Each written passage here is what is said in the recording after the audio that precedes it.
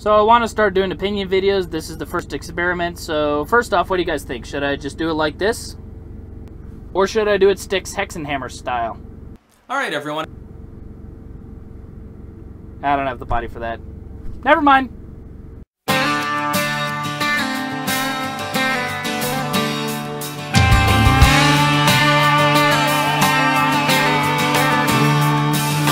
Hey everybody and welcome back. So this is actually going to be a new type of video for this channel.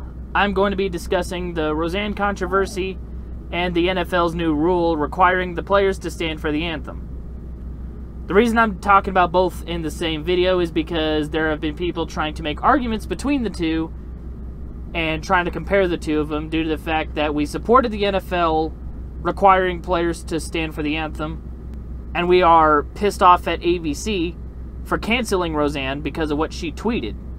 First of all, let's go ahead and get this out of the way right now.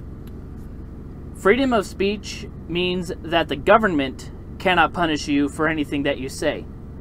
Also, it must be noted that private corporations are allowed to make rules regarding speech when you are on company time. For example, businesses requiring that you not use foul language, or companies that require you say Happy Holidays instead of Merry Christmas. All companies have that right, but the customer also has a right to have a problem with those policies. For example, I have a problem with companies that require you to say Happy Holidays because I don't think you should be required to say a certain holiday greeting in order to not offend anybody. Honestly, I also think that you're a prick that needs to pull your head out of your ass if you get offended by a holiday greeting just because it's not the holiday you celebrate, but I digress. That being said, the NFL had the right to make their policy regarding the national anthem, and on that same token, ABC had the right to cancel Roseanne after her tweet. Do I agree with their decisions? Well, in the case of the NFL, yes, I do agree. But in the case with ABC, I disagree. Now, I'll start with the NFL. Now, my reasonings for disagreeing with the NFL is I think that players should be required to respect the anthem and the flag and keep their politics off of the field. If you don't love the American flag, well, you can kiss my country ass. If they want to protest, I want them to protest and exercise their First Amendment right, but I want them to keep it off the field so I can enjoy my football without worrying about political shit. I watch football to escape, not to be bombarded with more political bullshit. Addressing the NFL's actual protest, I also believe that their protests were bullshit. They claimed to be protesting police brutality. Ah, police brutality! Police brutality! With no compelling evidence to prove that there is a police brutality problem. I'm not denying that it happens, but I don't believe that it has anything to do with racist cops or targeting black people or whatever. Nor do I believe that police brutality is on the scale of which they try to claim. They also claim to be protesting the oppression of black people, which they have also shown no compelling evidence to prove. Hell, in my opinion, it's contradicted by the fact that 75% of the NFL are black men that are making more in a year than I will ever see in my lifetime. Now, this is the free market at work. Customers for the NFL pulled off a successful boycott, which caused the NFL to lose enough money to put that policy in place. Now, some people won't watch the NFL for a long time, if ever, because of the anthem protest, but a lot of people will go back to watching, and the NFL may be able to recover their losses from the last season. We'll just have to see. Now, on to Roseanne. I don't think the tweet was that bad. All she did was compare Valerie Jarrett to an ape. Which, to be fair, Now like what I just said, her tweet was a joke. I don't think there was a problem with it, but if you think it was in poor taste, that's fine. She apologized for it and deleted it, so I think that warrants forgiveness. ABC had every right to cancel the show for the tweet, but I disagree with this decision. I disagree because the show was number one on the network, and Roseanne wrote the tweet on her own time. I personally think that whatever you do off the clock is your own business, and unless you're leaving burning crosses on people's front yards, your boss shouldn't really give a shit what you do on your personal time. I also believe that ABC is going to suffer for it. Even a Fox News article projects that they will lose 10 million in ad revenue. Damn, I wish YouTubers could get 10 million in ad revenue.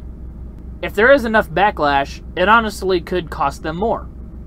Now, there are arguments being made that conservatives are suppressing the NFL players' freedom of speech while calling out ABC for taking away Roseanne's freedom of speech.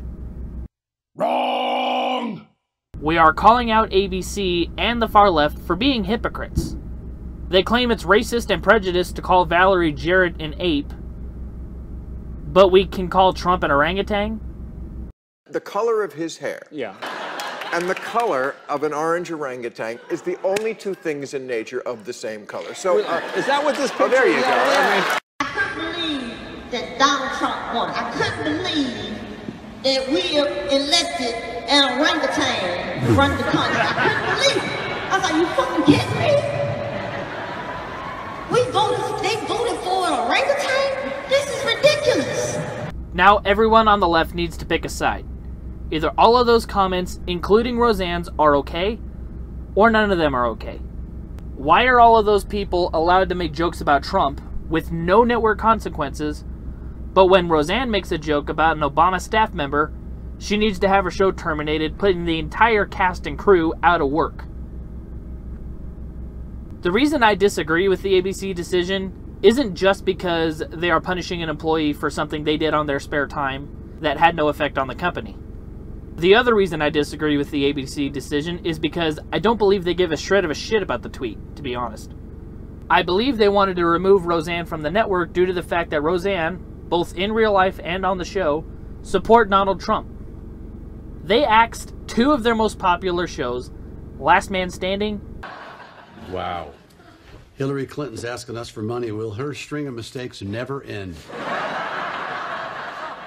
The hits keep on coming, but she'll never top Benghazi. That's her stairway to heaven. Yeah, it's the kind of screw ups that happen when you spend all your free time deleting emails.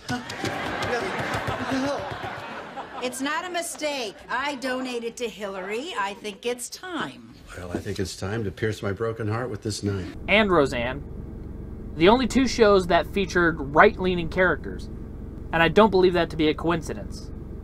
I believe that because of the backlash from canceling Last Man Standing and the fact that Roseanne was just as popular, they used the tweet as an excuse to axe the show in order to lessen the backlash. And assuming I'm right, it didn't work. In conclusion, we are not suppressing the NFL's right to free speech by demanding they stand for the anthem, and we are not denying ABC their right to fire Roseanne. In both cases, we deemed their actions to be wrong, and we used our wallets to tell them such. The free market is the best tool for protesting the actions of companies because all companies need money, and if they lose money for an unpopular decision, they will most likely reverse that decision. And if they don't, they will suffer the losses. Anyway, that is all for this video. Now, whether you agreed or disagreed with my opinions, please let me know what you thought of this new type of video in the comment section below. If you happen to disagree with me, feel free to have a discussion with me about it. I'll discuss opinions in the comments section when I get the chance.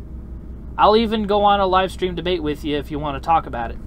But let me know what you thought of this new type of video. If people liked it, I'll keep doing more of them. If you're new to the channel and you like what I had to say, please hit the subscribe button. Tap that little bell because that's the best bet you have at getting notifications because YouTube is fucking with the subscription feeds now. You can follow me on Twitter at hey underscore dude 77. And until next time, catch y'all later. If you got a problem with that, you can kiss my country